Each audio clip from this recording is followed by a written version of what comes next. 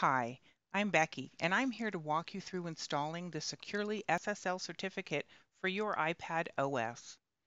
To begin, download the Securly certificate on your device. Now select the downloaded file and click the Install button. As this certificate makes certain changes to your device, you'll receive a warning message. Click Install Now and the certificate will be installed automatically. When you receive confirmation of the installation, exit the page by clicking Done.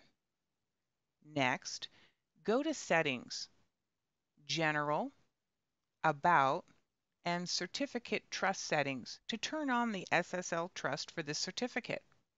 Toggle the button for Securly and click Continue for the warning message to complete the process.